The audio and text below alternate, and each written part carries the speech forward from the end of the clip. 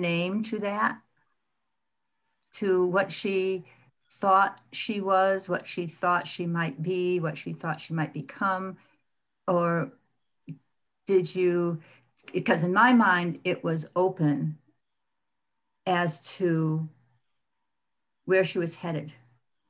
And I'm wondering if you had something specific in mind.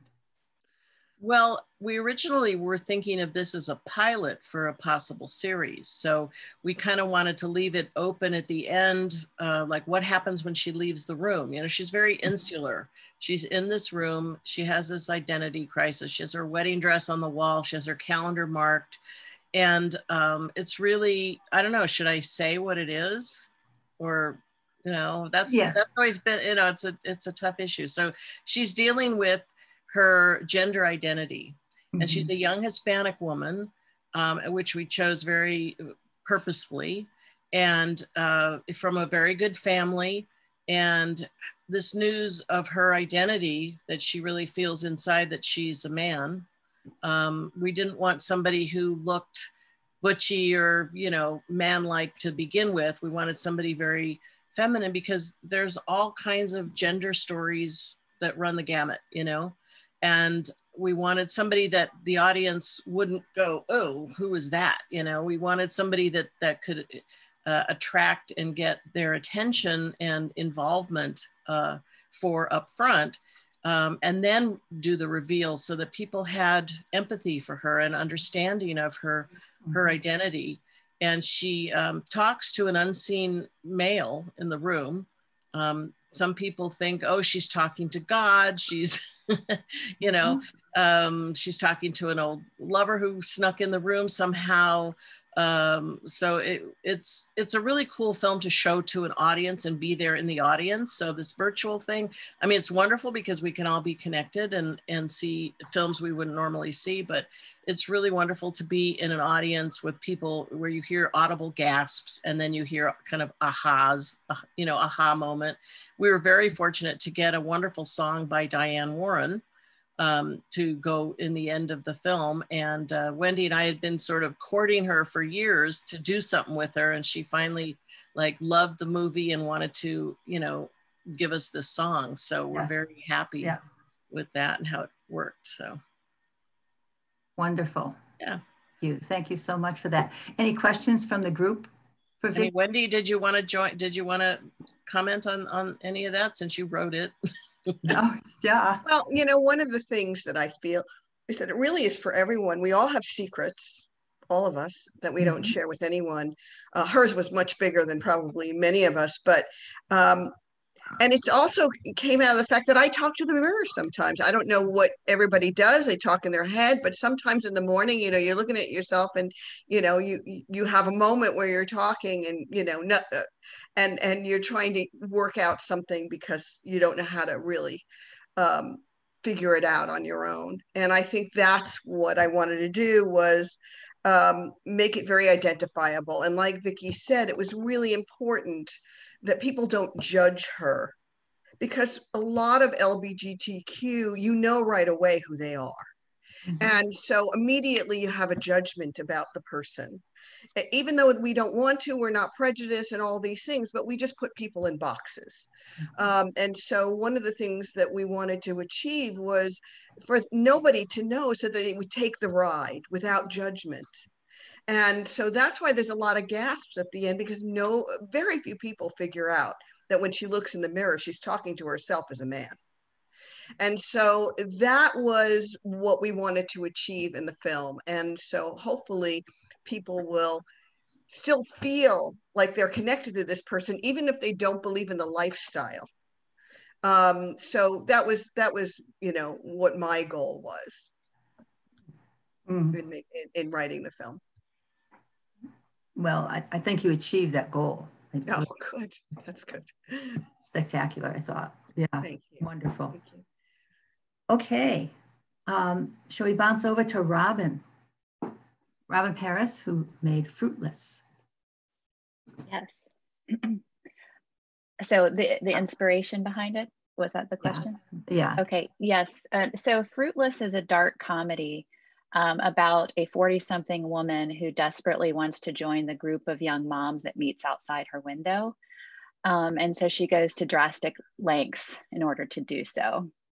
So she essentially tries to get pregnant by a couple guys. It doesn't really work out.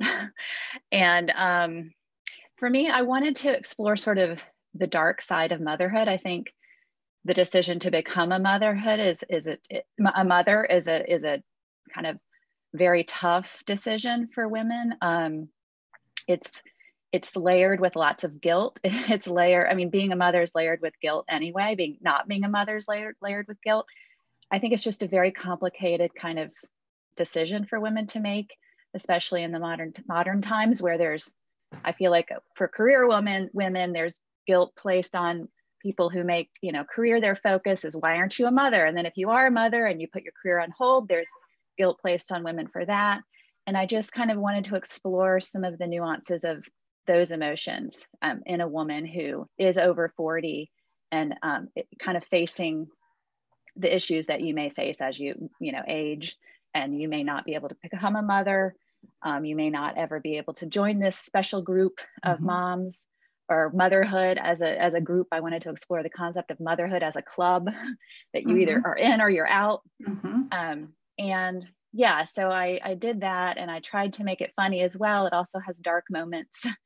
Um, it gets pretty dark near the end. Um, and i've done a lot of broad comedy in the past. I wanted to do something really grounded with this one. So so so yes and i certainly think you achieved that. Um, I was I, I, was wondering as I watched it. I actually watched it two or three times. Um, but if she longed to have a baby because she wanted to wanted to join that group of mothers she saw on the street, um, and was her motivation because she um, wanted to be younger than her forty years? I feel like, yes, that's definitely uh, an element. Um, you know, all the women outside who she sees outside her window are all younger. Mm-hmm. And they all have babies or young kids.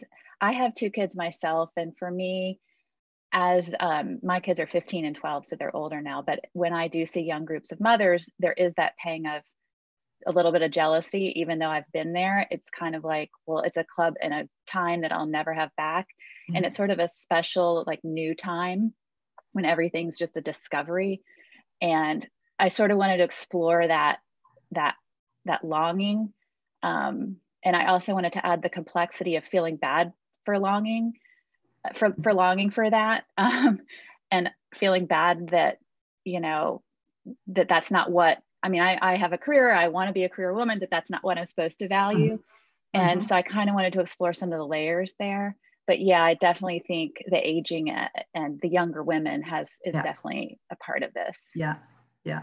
And then at the end, I, I thought, well, maybe she's frustrated because she she um, can't get pregnant and never could get pregnant, and and so that whole thing was uh, another kind of theme in my head uh, about it.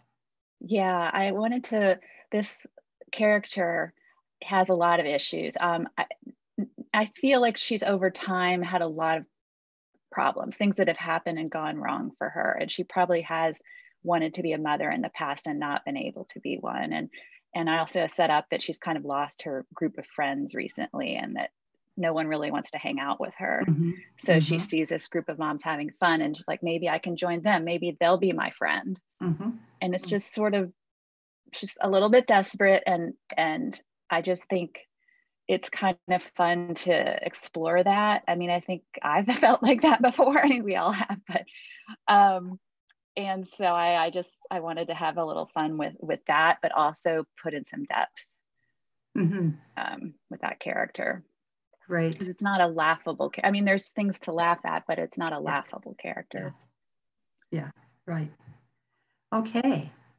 Thank you, um, Carolyn. Yeah, hi. hi. I loved that movie. I laughed and laughed and laughed and laughed. So, where, how did that start? How on earth did you get to decide on the antagonist that you did? Sorry, say well, I didn't quite catch the question. How did you decide on that particular antagonist in the movie? Um, what? How how I came up with the whole concept? You mean? Yes, yes. Um, it was actually a friend had been given the title of homewreckers by her therapist, and as as my friend's uh, friend is an actress, her therapist wanted her to kind of write something and just kind of get it out of her, and but because it's quite close to home, the sort of traditional, you know, word of homewreckers in terms of a you know a marriage or someone breaking up a relationship, she felt it was too close and too emotional for her to write something. So I kind of always like to think outside the box. And so I kind of gave her suggestions of how I might go about it, kind of thing, and, and sort of look at a home wrecker as not, not a human, but it could be a, an animal, it could be a cat, it could be a dog. And it was um, yeah it was a hot summer strangely in uk and there were a lot of flies. So i kind of thought oh yeah I, i'd probably use a fly kind of thing and how it could just devastate this this whole kind of setup at home. So my friend didn't actually end up writing something. So there was a competition in well it's worldwide. It's called imdb script to screen. So the international movie database. Um, the guy who founded that is called Col Needham, he's in the UK, and there's a competition where um, writers um, are given the challenge of writing a 10 minute script of any genre, any title, and, and enter it into this competition. So it started as a script, and then I was lucky enough to win the script competition and get some funding, um, a little bit of funding to make and produce the film, which had to be made within four months, and then it was screened um, at a festival in, in the UK um, who sort of helped fund it. Yeah. Um, so the fly was the um, um, kind of the star. yeah, so it's it's kind of a romantic meal at home. A couple, Lee and Jen, have been together in a sort of you know a relationship for many years, but they're not married and um, Lee, her her boyfriend, wants to kind of propose to her that night. So it's all very romantic at home and candles and soft music. And then he gets a little bit stressed and he opens a window. It's you know it's summer, and then in comes a fly, which kind of causes a lot of devastation. Things get smashed. There's arguments. You know they break up, and it, it's kind of. I wanted to do. Um, something romantic, but something which was real life because life throws curveballs. So you might think, oh, yeah, I want it to be like this, really romantic, how I'm proposed to. But then life happens, doesn't it? And it can just go completely mm-hmm. pear shaped, mm-hmm. not how you intended it, but it's kind of that. That beauty of the messiness of a relationship. It's not mm-hmm. Disney you know there's a lot of ugliness sometimes or a beauty it's messy and um so i wanted that messiness but a happy ending at the end. yeah. Yes. well, that was a that was a a, a great job, um, and just so um, so easy to watch. It was just fun. Just oh, that's great. so I, did you I, have I, to use a, a CGI fly? Um, you, uh, well, that's yeah. Well, we did have a um, I had a friend who put in um, a CGI one, but we also did actually have um, a real one as well. Um, there's a type of fly, gosh, I can't remember what it's called now, but it's a type of fly which is smaller than the house fly, but it doesn't actually fly. So I had to buy a load of these flies and hatch them kind of thing because we wanted we wanted to actually have a close up of, of a fly kind of thing. So um, the great thing with this fly is that it doesn't fly it's got some kind of genetic flaw um, so that enabled us to kind of have some close-up so we did have a real one but we also did have a cgi one which was was put in as well yeah but um, some of it's just kind of acting you know imagining the fly there so yeah it was quite a challenge yeah and we had a cat so it was like oh gosh cat and flies and yeah it was quite intense how how long is it? Um, gosh, I think it's just about 11, 12 minutes. Oh, okay. Yeah. yeah. 11.25 I have, yeah. 11.25, yeah.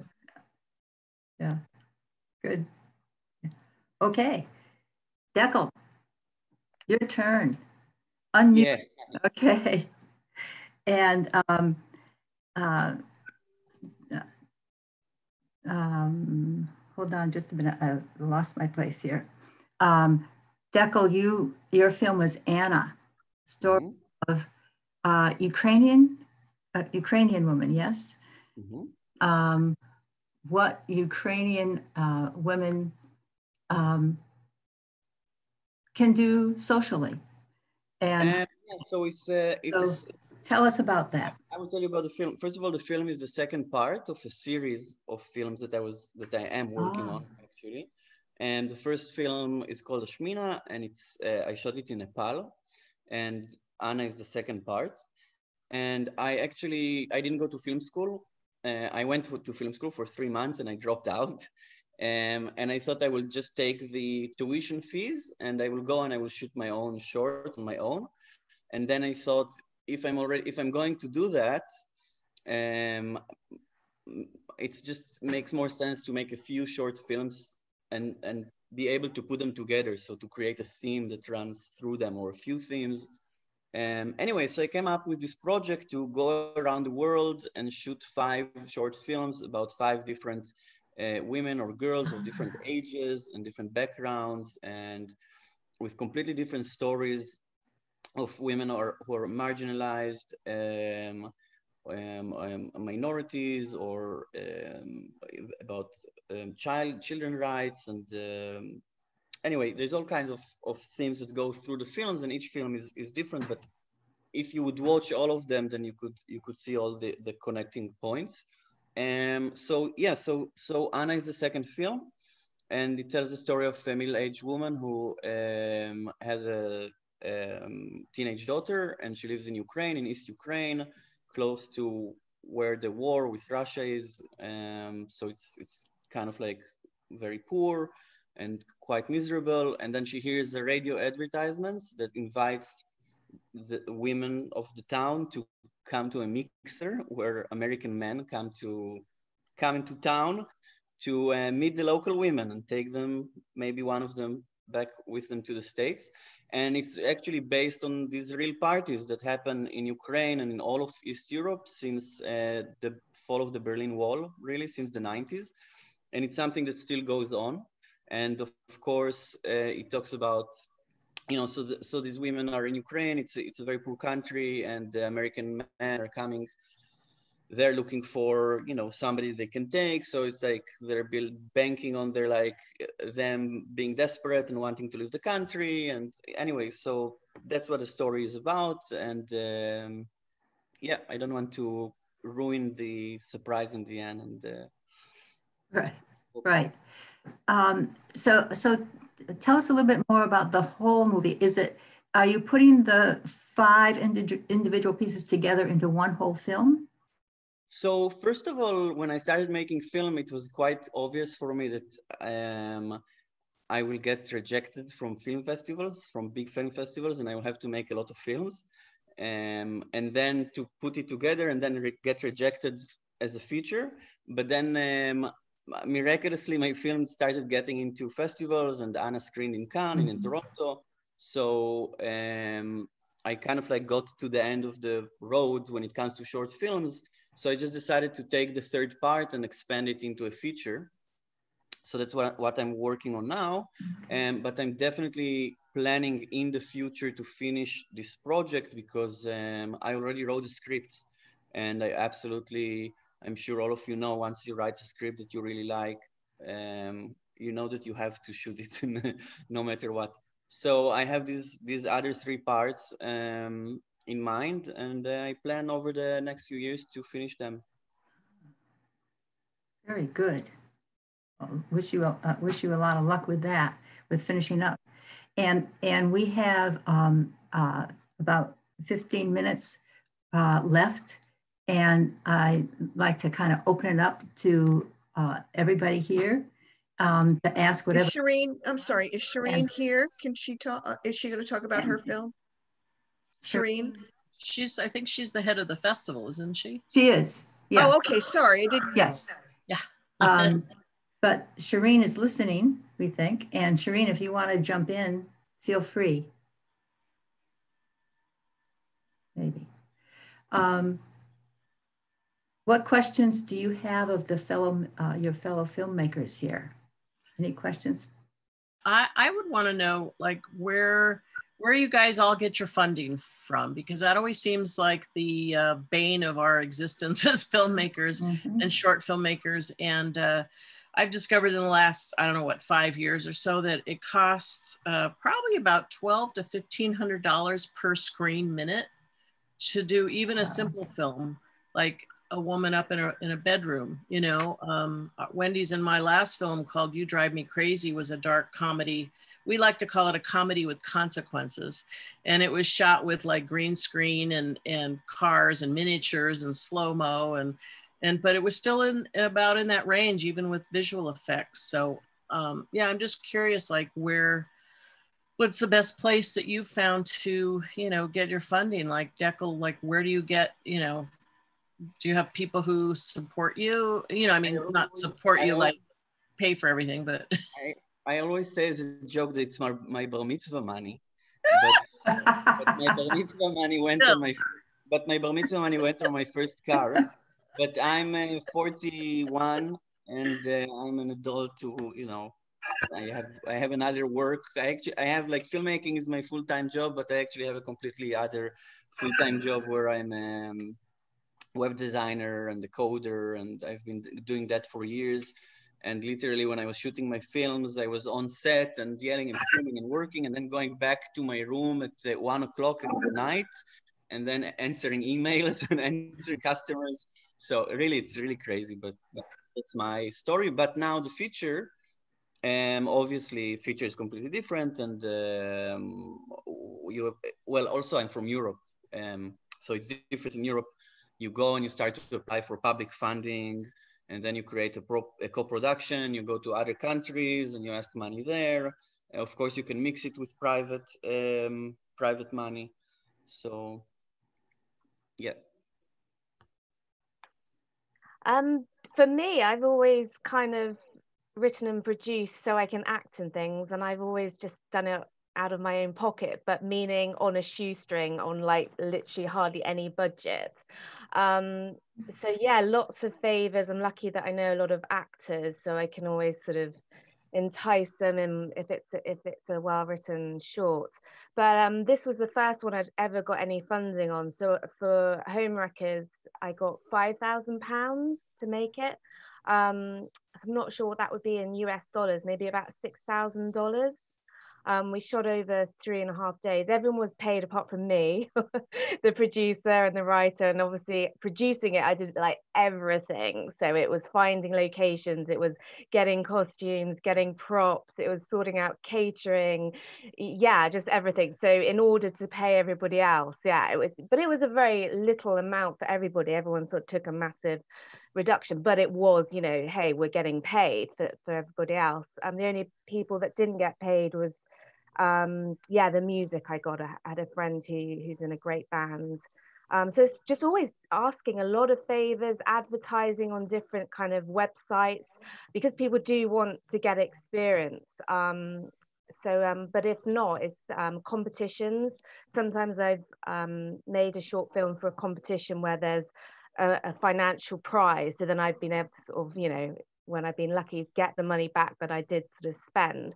But out of my own pockets, it's never been more than a thousand pounds. But for me, it's kind of worth it because I just want to make stuff. So I know you can spend so much time sort of applying for things, you know, weeks of doing forms and then the hope, and it's also competitive. So for me, I just want to sort of make it kind of thing and then kind of, yeah, put it on the credit card and just go to charity shops, you know, just try and get it as cheaply as possible. So some things you have to kind of spend money on. I've discovered like sound, you know, that's always a, a you've just got to kind of thing.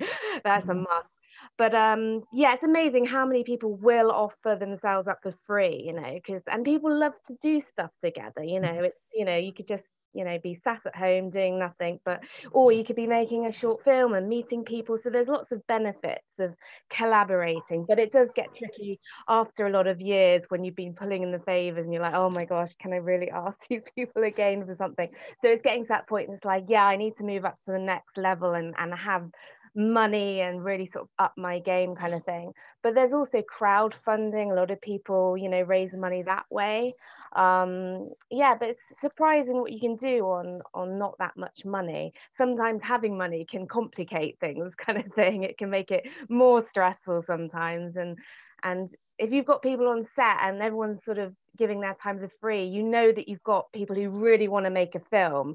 So you often have great attitude. And it's also just good to get people that you know together and it's just a really fun exp- experience kind of thing. But yeah money is yeah tricky well I, I, wonder if you know because in la there's just so much filmmaking and everybody's like using up everybody's favors all the time. So you know it's um i've just found it's hard it's hard to you know do everything. But what have you have you guys found uh, robyn sorry i'll let you answer that too, but have you found like to make things in the time of COVID now is uh, dampening our our styles, our our plans, about, all that stuff?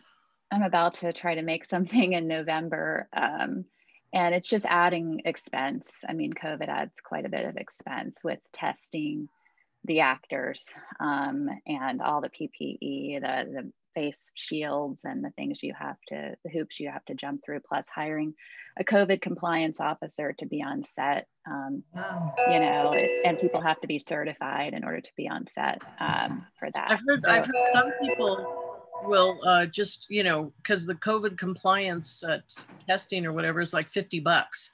And so they just get somebody from the set to take the testing and then they don't have to pay like a, ma- you know, major bucks for the officer. But just yeah, yeah, that, that's a strategy. That's a strategy. Our producer is actually COVID certified, but she thinks it's a conflict of interest to be our also be our officer.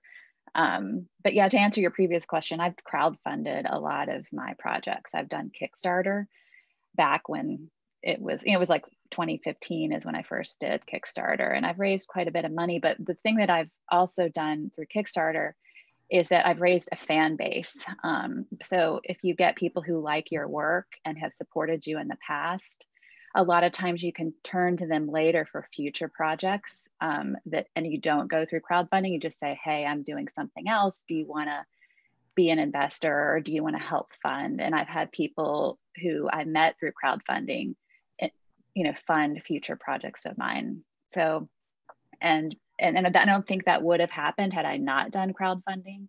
Also, then when I did finally release my projects, this was I did a, a web series that was pretty popular. When I released that, I had a lot of eyeballs, people who wanted to see it because who already knew it existed because of crowdfunding.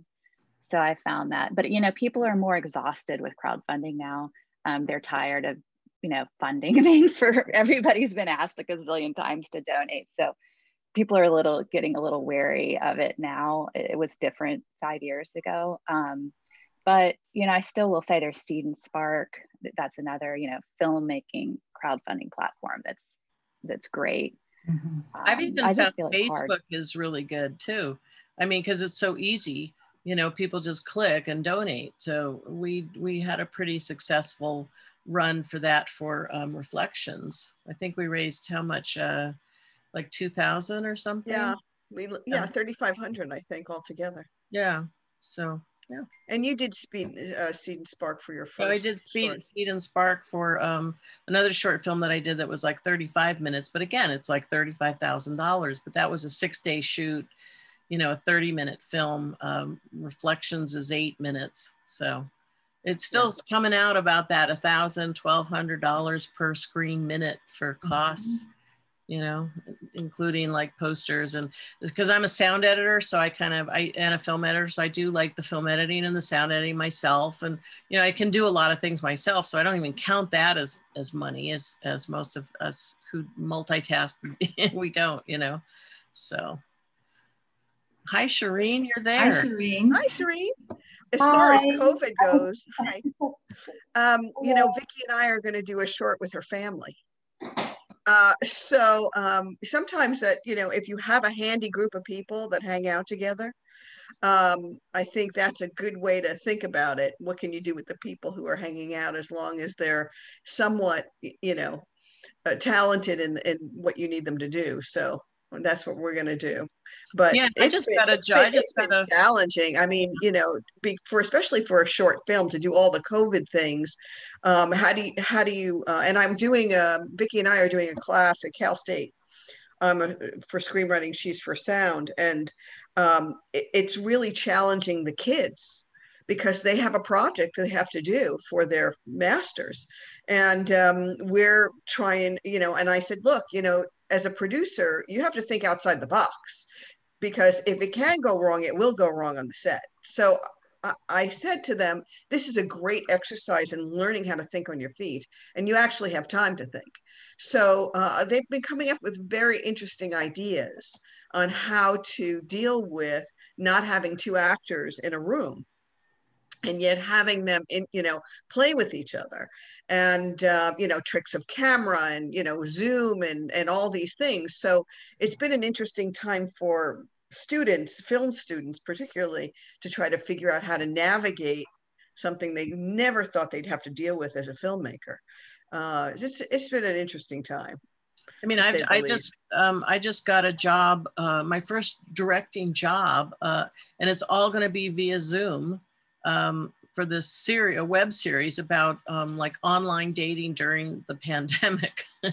so I don't even have to be on set. I, I'm directing it over Zoom. So, and people are becoming very creative in how they're, I'm doing a sound project for a friend who's doing a sock puppet show. And we recorded all the voices of the actors from their individual homes over Zoom, but then they recorded it you know, well uh, in their own homes. And then they sent me all the files and I'm compiling all these files and we're creating, you know, a timeline of, of the actors so that the puppets can, you know, do that on a set safely so the actors aren't talking at all. So people are coming up with very creative ideas for this time period. So we'll see. Shireen, would you like to jump in here? You have something to say to these folks? I'm sure you do. I just wanted to say hello. I've been listening the whole time, but I was also running around making breakfast, uh, doing emails, social media. but, um, uh, thank you so much for uh, uh participating this morning mm -hmm. in this uh, panel, and thank you for submitting your films um, to our festival. They're all wonderful films, and um, we're so honored to have them this year at our festival. So thank you. Mm-hmm. And you've had in-person screenings too, right? Is that true? Yeah. Or yeah? Yes, we have. I'm the movie theaters are. Uh, we had uh, two screenings last night at two different venues, and the venues are. Um, well, in Connecticut, they're in phase three, but they're working in like a phase two scenario. So really, a lot less seating. Um, so socially distanced seating, wearing masks, they're sanitizing everything. Um, I think everyone felt really safe and comfortable. Um, and we had all ages there um, at these screenings. So, you know, so far so good. Um, you know, we have three more days to go. So we just have to be really vigilant and not let our guard down. It's, um, you know, naturally when you start to get together with people, even if you're wearing masks, you're like, oh, how are you? Haven't seen you in a while, or so nice to meet you. We've only met via Zoom. And like, you naturally just want to get closer to people. So we have to kind of like, all right, everyone, stand back, be careful. We all need those like dog collars around us, right? take your dog to the vet and do that one yeah. but uh, it's been so nice just to like be with other people and um, you know see see a movie on a big screen that was also very cool so yeah yeah um, I just had a question about how can we see each other's films? Because I, I don't know, there's like so many links and things. Do we need to buy a ticket? Do we, how do we see each other's films? So I, I, believe all of your films are in one block of films on the Seed and Spark uh, platform. And it's they're all in the narrative films, uh, short films two, number two. Um, so so that's probably the best the best and easiest way to watch everyone's films from this group and i can send you links and everything um, by email to help you connect or navigate all of that but everyone's film page has a if you scroll down it shows where where the film is screening whether it's live or or part of the uh, online festival, and then there's a link. So I'm wondering of Carolyn and Robyn, because Dekel already said his, like what got, what do you have coming up for yourselves as far as films go? Um, I'm in another competition which is called Enter the Pitch. Um, it's my 10th year of entering this particular competition. The reason I keep entering it is because the prize is £30,000 to make a short film and also get to go to LA. So um, you have to pitch the idea and do a two minute video pitch as well as the written information. But all the films have to be um, inspired by the Bible. Um, so this year, if you know the Bible story of Moses in the basket, um, I've done a very contemporary um, quirky comedy of, of Moses in the basket. Yeah. So I just found out this week that I'm in the sort of the beginning of the competition. I've got to the first round. So that's 60 pictures. And then in a couple of weeks, they reduce it to 20. So yeah, that's what I've been sort of working on. So we'll see how, how that goes this year. Yeah. Yeah. How about Robyn?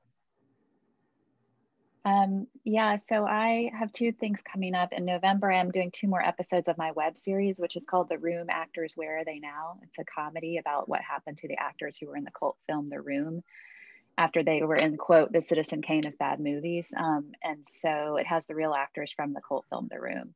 We're doing two more episodes. Um, and then in um, January, I'm doing something called Public Nuisance. It's a period piece set in 1820s early America about women, bad women in the 1800s, women who are doing things like trying to learn to read and um, speaking back to their husbands and not always cooking all the time. so horrible things like that. So it's a comedy and it's just exploring kind of this, the, the plight of women in the 1800s. And it hopefully has some parallels to some of the, you know, plights and experiences we are having even today as women. So.